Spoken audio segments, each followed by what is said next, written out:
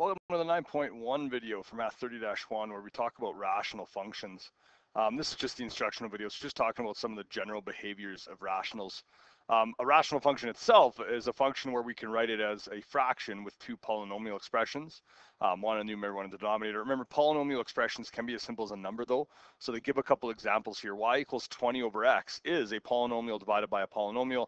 Um, typically when we talk about rational functions, if the denominator is a, a, one or a two, we generally don't call it rational. So really the denominator needs to have a variable in it. Um, right away, some of the conversations you've had in previous courses come up again, um, which is the idea of non-permissible values values. So the most basic rational function we can look at is y equals 1 over x. Because we can't divide by 0, we would get the non-permissible value that x cannot be equal to 0, but it's any real number beyond that. So that's the domain of that function. What this graph actually looks like um, is pretty important because we are going to talk about transforming these functions and applying, you know, they show a vertical stretch in the textbook work right here.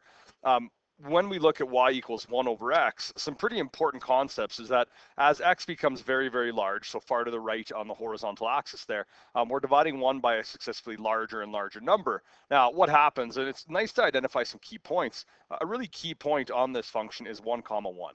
Um, you know, 1 divided by 1 is 1, but as x gets larger, the value of the fraction gets smaller. So when x is 2, we'd have 1 half. When x is 3, we'd have 1 third. Um, you know, when x is 10, we'd have 1 tenth. And what happens to this graph as x becomes very large is the value of y actually approaches 0. Now, there's a really important consideration there that you cannot actually divide 1 by a number and get 0 you know, one divided by 10 million is one ten millionth, not zero. So what happens is we actually get a horizontal asymptote, which is definitely going to be some of the new stuff in this chapter, is that our horizontal asymptote for this particular graph is at y equals zero. And that's really important because that actually leads us to the range of this function. And the range of this function is that y cannot be equal to zero, but other than that, it's every real number possible.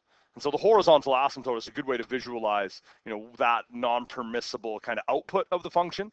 Um, when x approaches zero, what happens is we're dividing one by successively smaller and smaller numbers. And if you have your calculator, check. You know, one divided by 0.5 is two, one divided by one third is three, one divided by one tenth is 10.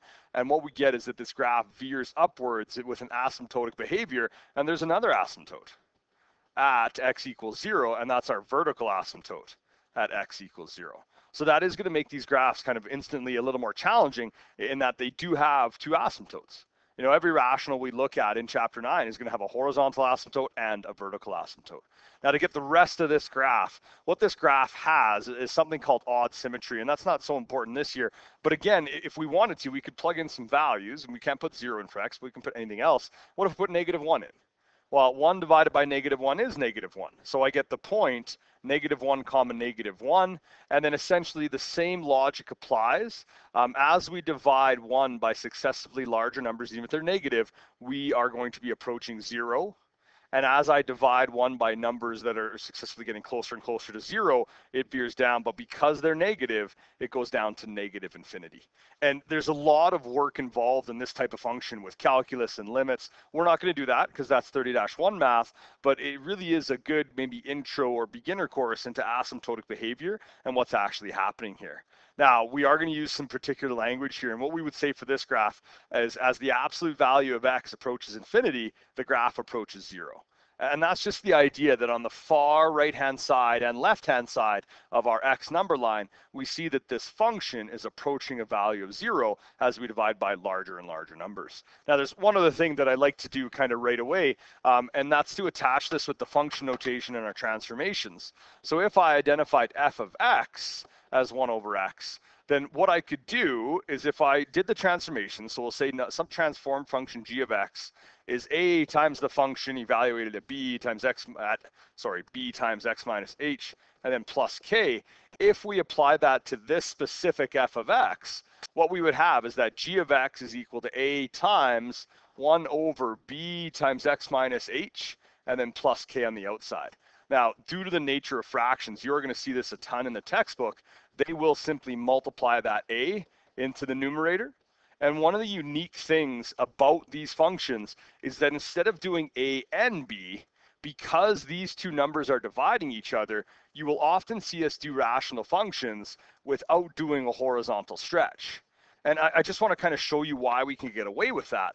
Uh, let's say that A was 4 and B was 2. We would have that g of x is equal to 4 over 2, and I'll just put maybe x minus 1 in there and plus, uh, I don't know, 5, for example. Now, that, there's nothing wrong with that, but 4 is divisible by 2.